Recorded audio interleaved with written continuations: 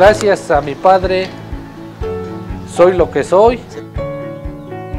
Y lo único que le puedo decir es gracias por haberme dado la oportunidad de haber nacido en su familia. Y si yo volviera yo a nacer, volvería yo a ser zapatero y que me tocara la misma familia.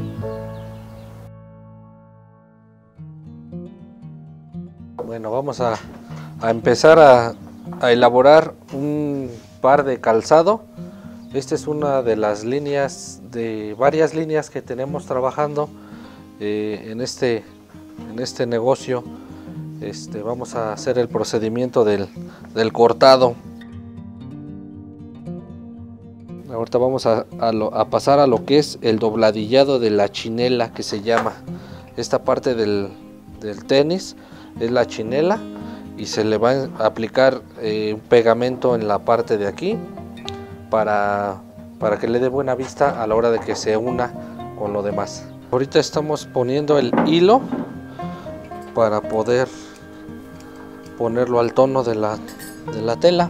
Uno como, como encargado o dueño del, del negocio, pues debemos de tratar de,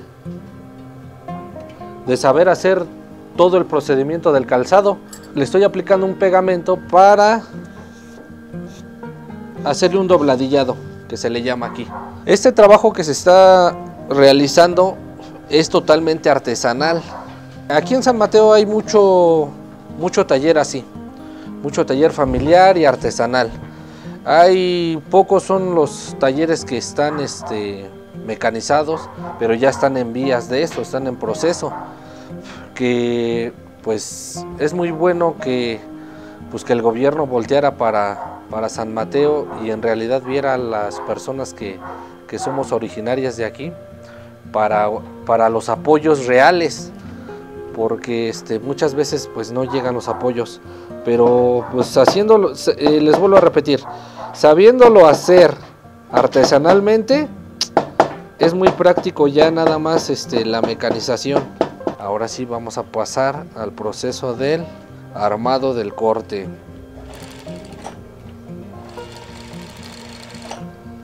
Darle su remache para que queden muy bien.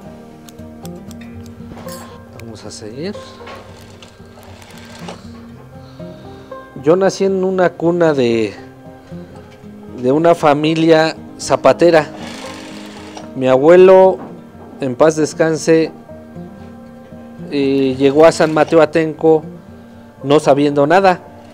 Se involucró se involucró en, en la industria del calzado y aprendió, aprendió y pues él fue trabajador de, de talleres que, que, en ese tiempo, te estoy hablando de hace 70, 70 años, este, eran tallercitos pequeños, pero luego se empezaron a, a crecer, empezó a crecer, a crecer esto, y, este, y mi abuelo tuvo un taller grande. Este es un trabajo que en realidad a mí me han comentado, si volvieras a nacer, ¿querrías volver a ser zapatero? Y se los diría yo mil veces que sí, porque este es un trabajo muy hermoso. En realidad mi marca es, es Fontaine. Esa marca eh, tiene 25, 30 años ya en el, en el mercado. Y este, te digo que fue una de las marcas pues buenas, muy buenas aquí en la zona de Toluca. De hecho, no me lo no me no quiero ser, muy modesto, ¿no? Pero créanme lo que en las bodegas donde llegábamos a entregar eh, duraba el calzado hasta 20 o media hora las cantidades que llevábamos. Por la gran demanda que gracias a Dios en ese momento se tenía. O sea, se hacía un producto de mayor calidad porque la gente así nos los demandaba. Nosotros metíamos la suela natural, la piel, este, piel natural, pero a raíz de, que se va o sea, incrustando mucho el, zapato chino y todo eso, pues tenemos que ir ahora sí viéndole este, la manera de competirles a ellos. Apoyos, apoyos reales que yo vea, que diga yo a fulano, a sultano de aquí de mi municipio, he visto que los apoyan, en realidad no. Vamos a ser honestos. Sí, yo he, tratado, o tratamos, porque este negocio éramos tres hermanos y mi papá, de la sociedad, era lo que te comentaba yo con anterioridad, de que teníamos un negocio grande, eh, pero gracias a nuestro esfuerzo. El gobierno sí da esos, eh, esos apoyos, pero te pone muchas trabas. Llegan a municipio, el municipio busca a la gente que les, les cae bien o no sé de qué manera lo manejen ellos y se pierde. Y en realidad, esta es nuestra realidad de San Mateo. Esta es la realidad. Que cuando en verdad se necesita el apoyo, te cierran las puertas. Que, voltearan en realidad a ver a las familias que en verdad son zapateras. Mucha gente de aquí de San Mateo este, lo necesita ese apoyo. No para beneficiarse eh, personalmente, sino para darle una proyección muy grande a San Mateo. Hay muchas cosas que se pueden realizar aquí, pero desgraciadamente no nos dejan crecer, no nos dejan crecer. Sí, ah, se puede ver como reproche, pero digo, pues si el gobierno se encarga de apoyar, que en realidad vea a dónde va ese apoyo. Si algún día llegaran a ver este, este video, esta entrevista, las personas adecuadas, que me vinieran a visitar, que vean el proceso que hemos tenido, el por qué subes y bajas, el por qué no te llega el apoyo, el por qué no te mecanizas, el por qué no le das mucha salida al calzado de San Mateo Atenco. Me gustaría. Vamos a empezar el proceso del montado. Vamos a darle forma a la planta del calzado, que la planta es el alma del calzado. Aquí empezamos las actividades a las ocho y media de la mañana. Empezamos a, las labores. Después de que voy a, a dejar al colegio a mi hijo, pasamos a hacer un poco de ejercicio y empezamos las actividades. Llega uno, se echa su baño y a empezar actividades. Vamos a mojar lo que es el contrafuerte, que es el que lleva en la parte de atrás, en el taloncito. Y el casquillo que lleva en la parte de enfrente. Y lo que vamos a hacer es que se oriene un poquito para que no entre a la tela esté muy fresco. Bueno, ahora sí, vamos a ensamblarlo en la horma. La horma es el molde del pie. Este es el molde del pie que pues ahora sí, de las personas. Y este, hay diferentes tipos de hormas, como te comentaba yo hace rato, ¿no?